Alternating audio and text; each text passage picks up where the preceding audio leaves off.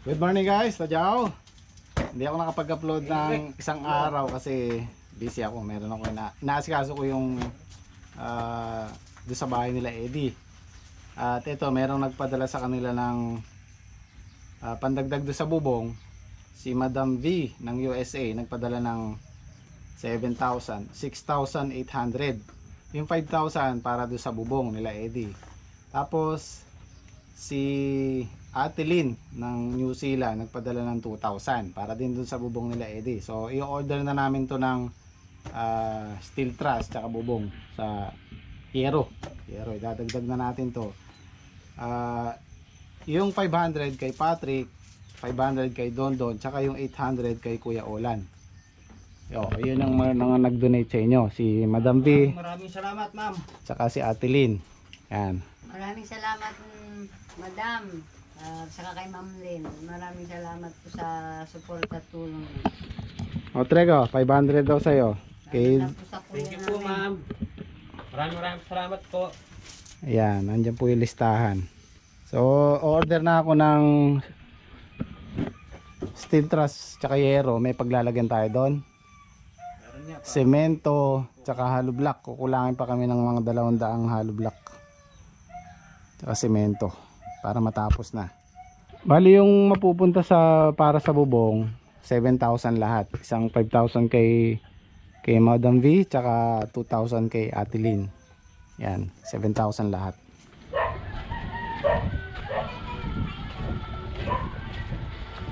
Kaya papatungan na lang namin yan tapos biga lalagyan na namin yung steel truss. Ito natakpan na rin. Konti na lang po. Oh.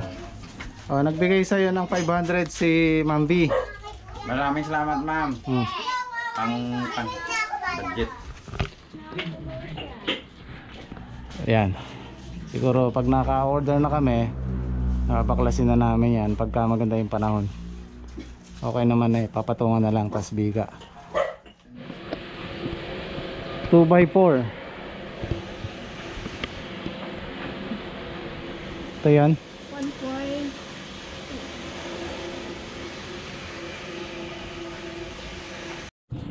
So bali ito na yung na-order natin guys sa um, in-order ko ng maaga para kahit bukas nila ma-deliver okay na. Oh bali ito yung in-order ko. Umabot siya ng 19,981 kung hindi di-deliver yan mamaya bukas iaabangan mo yung tawag nila. Ah, hindi ko inabutan si Kuya Ulan may trabaho daw. At nagpapasalamat ako kay Ma'am Lynn tsaka kay kay Ma'am V. Ah, malaking tulong po yung pinadala niyong pera dun sa mag-asawa para mabuo na yung bubong nila.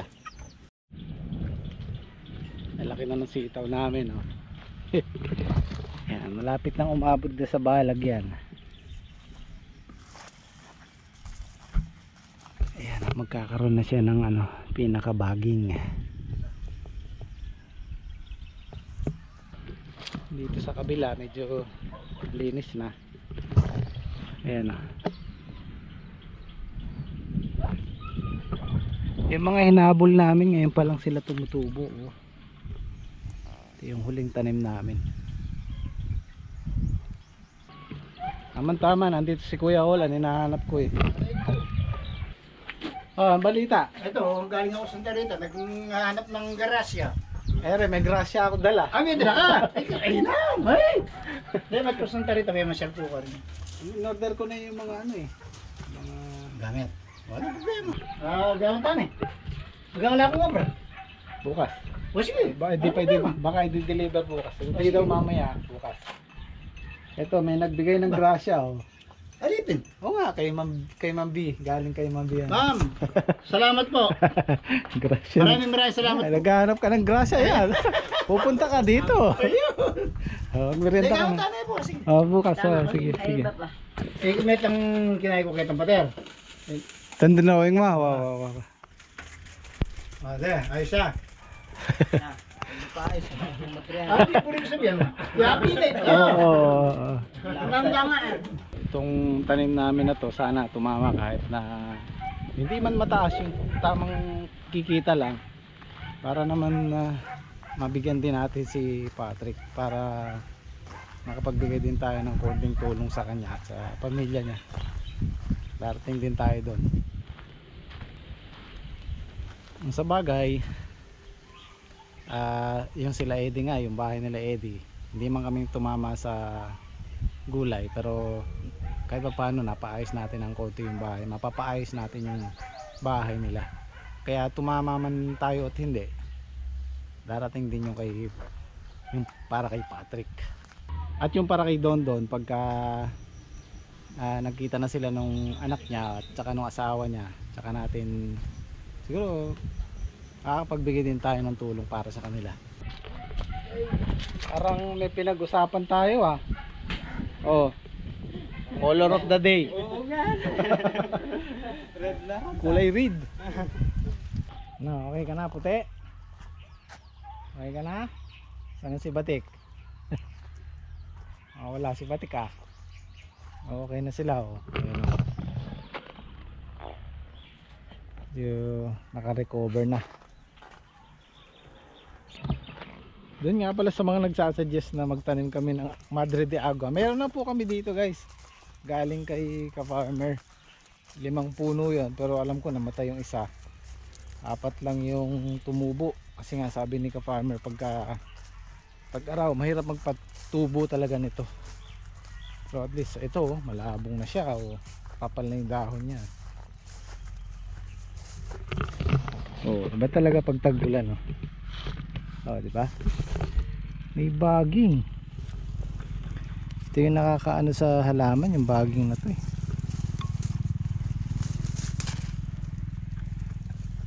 Parang nababansot yung halaman pag kinap, kinapitan ng baging na to eh. Yan. Ka makapal kapal na yan. Pwede na tayong magpunla ulit magtanim ulit yan. Itong sanga lang na to pwede yan eh. Yung isa oh, laban siya kapal naman para nga pala doon sa mga hindi nakakaalam ng Madre de Agua pagkain po ng ano yan ng hayop ng manok, baboy, lahat. Pwede pong ipakain yan. Oh iba talaga pag tagulan maganda yung tubo nila. Isa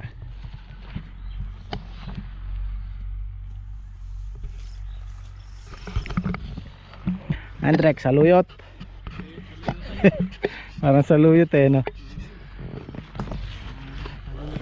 ah Oo, edi kadami nating ulam. Pwede ka pang magbenta.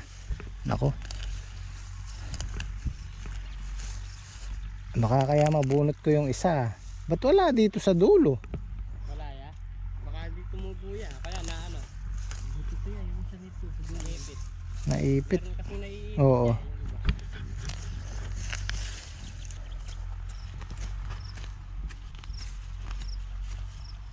Bukas siya, sprayan na natin yung sitaw. May ano na sila. Oh. Yung puto. Ano, manong pang i-spray natin? Ano kaya malago ba? Lanet lang, tsaka low anong ano. Yung brudan dyan niya. Meron pa? Baka meron pang brudan dyan. Ngayon, pagkayari namin damuhan niya, papatabaan na namin. Mhm.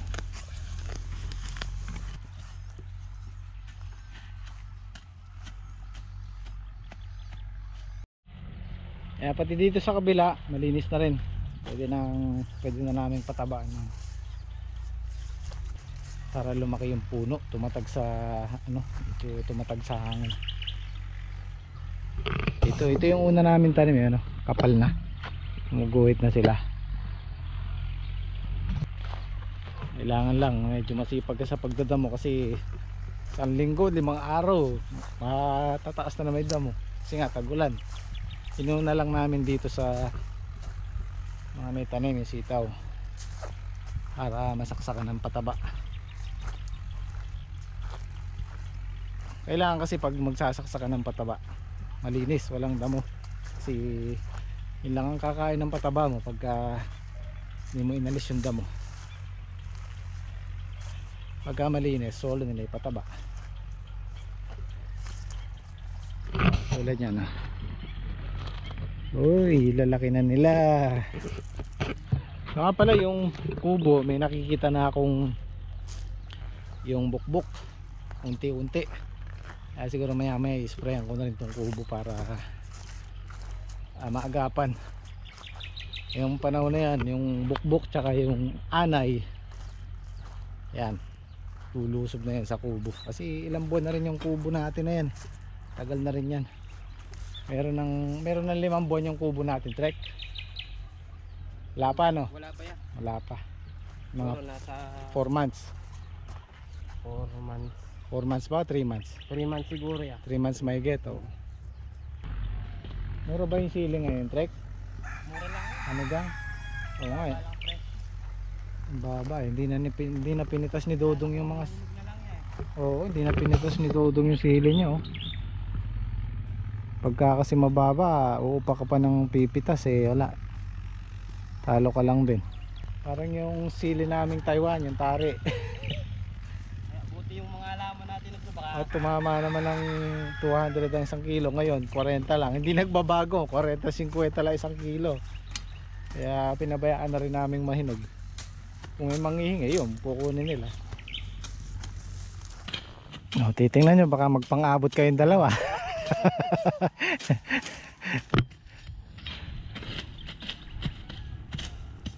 sa finish line. Finish line. Okay na.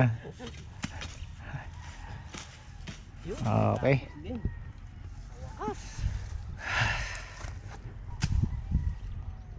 Linis na. Bumitaw din yung sitaw.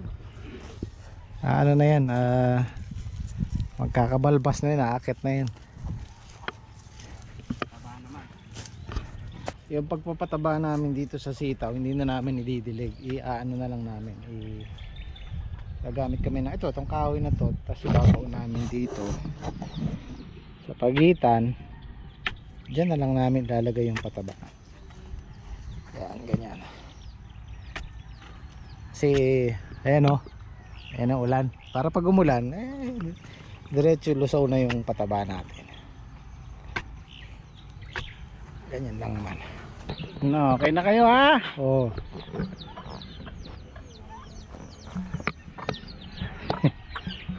Parang nangayayat tuloy sila. Baka abutan tayo ng ulan, no?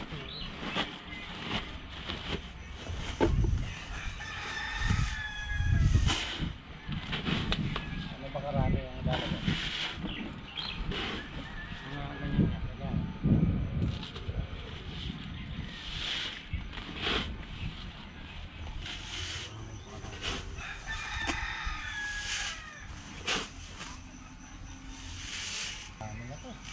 Mabigat na yan.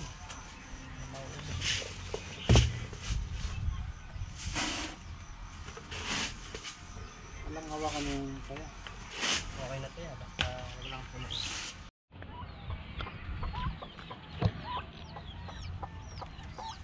Hindi ba masyadong malalim? Okay lang yan. Para nung agad sige. uman. Uy, alis kayo dyan. Baka tukain nila yung patabatrek, oh. Oo, oh, tutukain. Pagpapain kaya. Makukulong kayo, sige. Ay, napaka na. Doon muna kayo. Kala nila pagkain eh. Madadali kayo dyan. Doon muna kayo sa kulungan. Tara, tara. Muna kayo sa kulungan.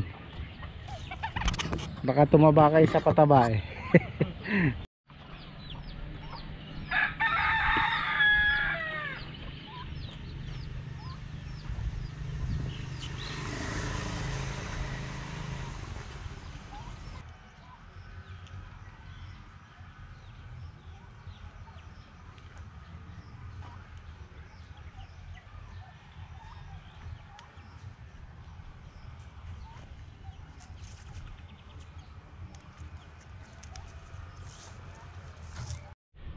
Ayan, tamang-tama. Pumunta yung anak ni Ed rito. Na-deliver na daw yung materyales. So, pwede tayo magtrabaho bukas. At, mm, ayun, naibaba na. Okay na.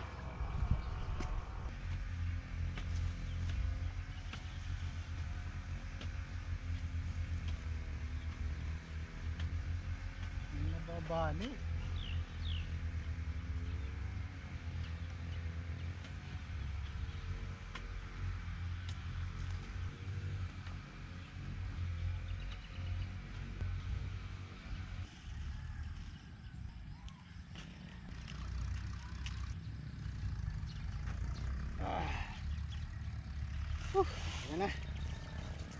Huling tudling na to. Ah, tapos na ng dalawa. Okay na. Okay, we're done.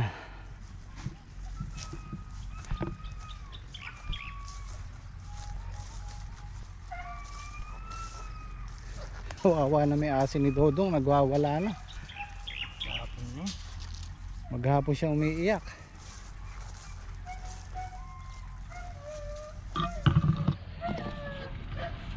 Yan ang tawag niya si Dodong. Umuwi na siguro si Dodong. Trek it. Ay, tapos ka na ba? Doon na lang gamitin mo. Meron pa ba? Na lang. Ito na lang isa yung kasunod ni Eddie. Pag naulanan yan, biglang bulas na naman yun. Aman tama, mamayang madaling araw, mamayang gabi. Bubuhos ang ulan. Tsagaan lang. At uh, tayo'y nang tayo merong ani.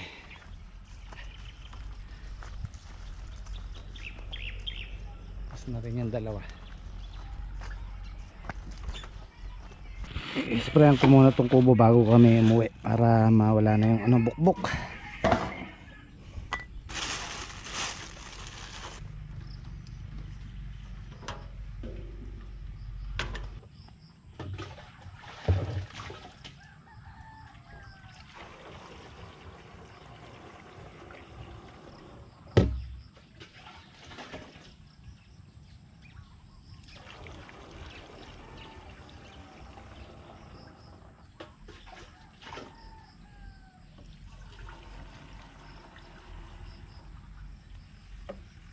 Nakati lang, matipid tong bomba na to eh. Spray na to eh.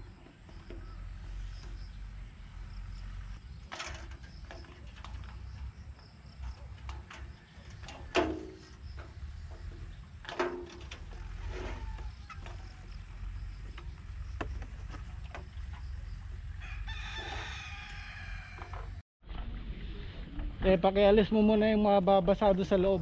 Yung mga damit nyo. Yan, alis yan sa loob ha.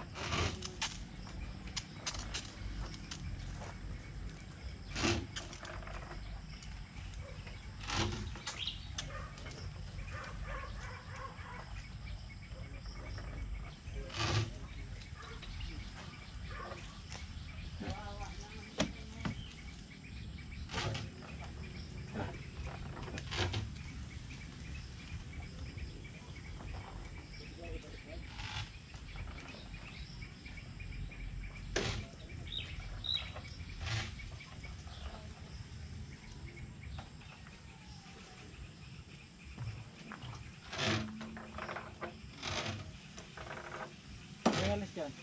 Patay pa mo. Kalambat ng gagawad, masyado daw. Wait lang, kuya mo yun eh. Misa, misanan demo rin nga eh.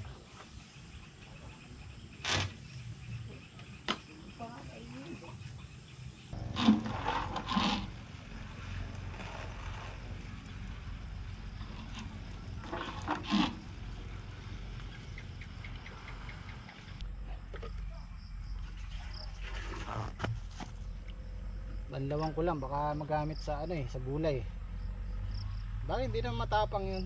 Hindi naman ganun katapang yung timpla ko.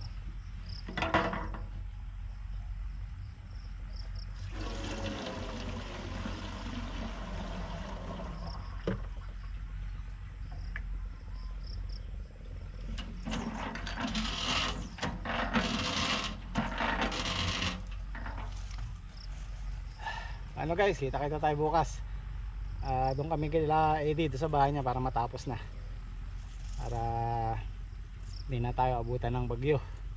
Ando na yung ano, yung materyales kompleto na. Kulang man yun siguro mga pako, or screw para do sa yero.